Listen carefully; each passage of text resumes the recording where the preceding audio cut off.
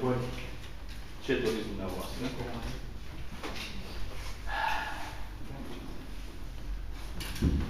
Dan, cred că tu ești cel care... Da, cum a fost? Bine la național, da, serios. Da, normal, foarte... M-am bucurat în prima, m-am bucurat foarte mult convocarea și mă bucur că am luat și o parte la, la urmă, un rezultat bun împotriva unei echipe de prestigiu în fotbal mondial, cu jucătorii exponențial pentru, pentru campionatul italian, pentru practic pentru fotbal de calitate. Cu cine te-ai salutat de la Națională? Cu cine te-a bucurat, nu știu, revederea? Cu cine am Sigur, cu cine m-am bucurat cel mai mult, m-am bucurat că l-am întâlnit pe, l-am revăzut după aproape 9 luni pe Gigel, pe Gigel Bucur. Dar, da, e un grup, e un grup la național, e un grup cu jucătorii care chiar dacă joacă în străinătate și joacă la un nivel foarte, la un nivel ridicat, sunt foarte modești. chiar nu, aici mă refer la Chiv, Tamaș, Goian, băieți de calitate și e o atmosferă frumoasă. Ce v-a spus Răzvan? Sigur, am, era, să zic așa, era și bucuros și supărat. Practic am scăpat o victorie care ar fi avut un impact, un impact mare. Era bucuros pentru jocul prestat, pentru evoluția echipei, care, până la urmă, ne dă speranță tuturor pentru meciul din Bosnia. Fanentul cum ai trăit jocul? Primele 45 de minute fără gol primit, al nouălea meci în națională. un meci întreg Nu. Sunt bucuros că, că am obținut un rezultat bun. Am dat, am dat dovadă că, că putem forma o echipă, o echipă competitivă și care poate să obțină, obține rezultate bune.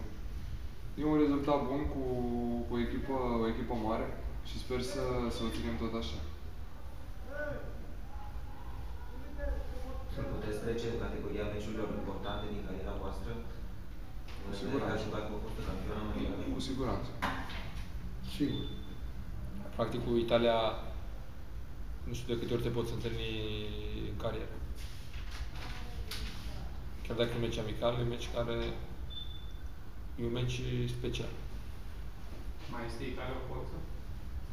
Da, sigur. Sigur, sunt jucători care valorează foarte mult. Uite, luăm exemplu Balotelli, Pirlo, De Rossi, se nume cu Agarela, Gilardino. Jucători care unde joacă fac, practic sunt liderii echipelor și vorbim de Milan, vorbim de Fiorentina, vorbim de Juventus. Echipe de top care, dacă te întâlnești cu ei, nu știi ce șanse Nu știi câte șanse Doamne, n-ai avut ocazia să întâlnești cu multele, multele tale în care de portar, nu? Da. Asta... Asta a fost, acum nu. E, important e că, că am reușit să, să joc și am făcut-o cu, cu o echipă mare.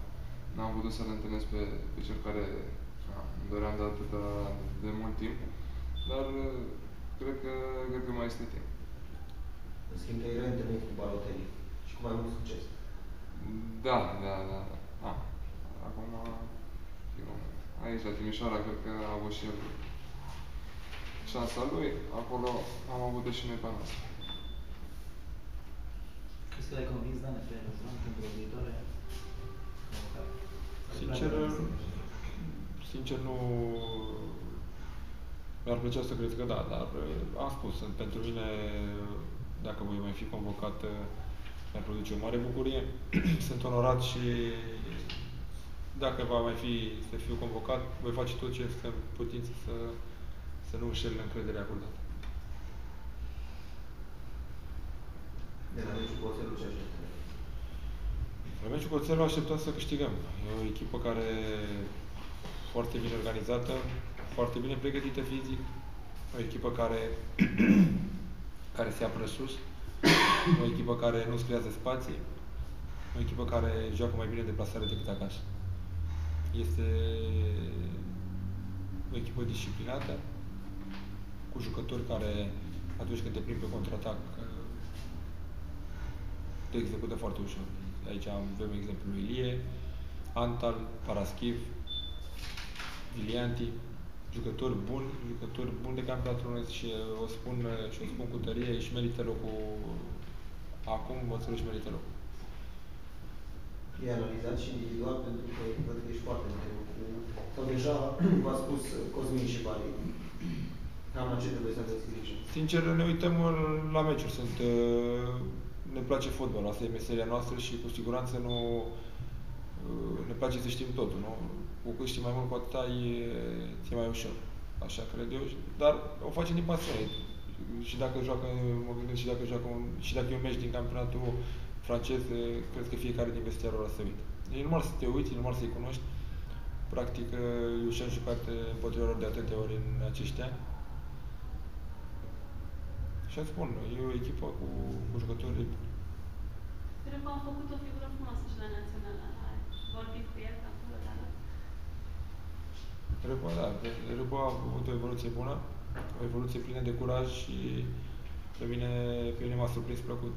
E un jucător de viitor care, care cu siguranță va mai crește în valoare și va, va fi un jucător important în fotbalul românesc și, de ce nu, și în cel de afară.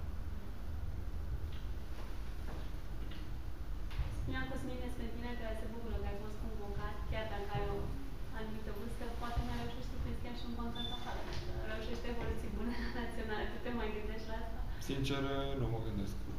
Uh, e, mai am contract, sunt în ultimul an de contract, mă gândesc că încerc să-mi canalizez energiile, toate energiile pentru a face totul de a de a juca cât mai bine aici și de a am ajutat echipa să obținem uh, ceea ce ne-am propus de atâția ani.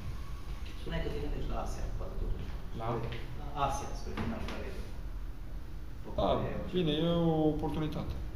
E o oportunitate, dar nu mă gândesc acum, sincer, chiar n-am nimic în cap să vreun gând de plecare. Cât ați văzut în Austria, nu știu dacă ați aflat, s-au mai făcut pași spre recăpătarea denumirii de Politehnică, în sensul că și site-ul uh, are blazon, acum e de violet. Uh, credeți că lucrurile astea o să aducă mai multe lume sau sperați să aducă mai multe lume la meciul cu oțelul? Sperăm, sperăm, pentru că avem nevoie de, de public.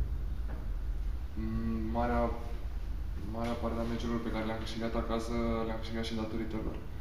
Și de fiecare dată când am fost în număr, număr mare, ne-am oprit de multe ori la spate și din cauza asta na, facem și un apel pe, pe tema asta să, să aduce cât mai mulți oameni la stadion pentru că avem nevoie de ei. Da, ne bucură foarte mult, clar.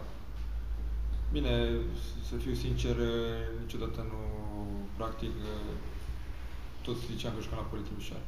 Pentru noi, în sufletul nostru și pentru noi, noi jucam la Poli Timișoara, mai ales că pentru mine am crescut aici, la liceu, sa sportiv, deci nu s-a, practic nu s-a schimbat nimic. Tot timpul am, pentru mine a fost Poli Timișoara. Și nici nu zicea, jucam la FC Timișoara 1920. Dar ne bucură, ne bucură mult pentru, pentru suporterii noștri. Ne-am recăpătat culorile, palmaresul și eu cred că sper să fie o altă emulație, să fie umple stadionul și să câștigăm, cu, să-i mulțumim câștigăm cu Galați. Dar cum l-ai văzut de pe margine pe Gabi? Crezi că e pregătit el pentru campionatul Germaniei? Pentru că ăsta a fost emisar de la Bayern. Să... Pe cine? Gabi Toj. Gabi Toj.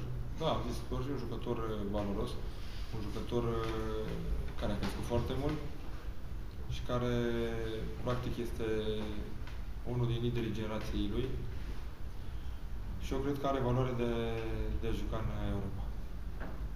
E un pic de regret că n-a rămas până la transferul afară aici. Nu, atunci a fost o afacere foarte bună pentru Timișoara. Foarte bună și nu știu cine l-ar fi făcut.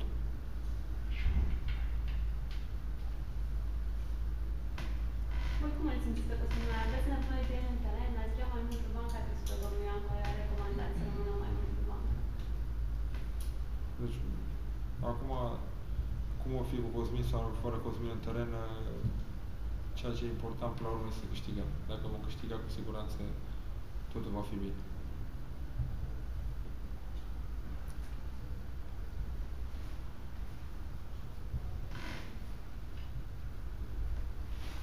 mai sunt întrebări? Dacă nu, vă mulțumesc foarte frumos. Tinere,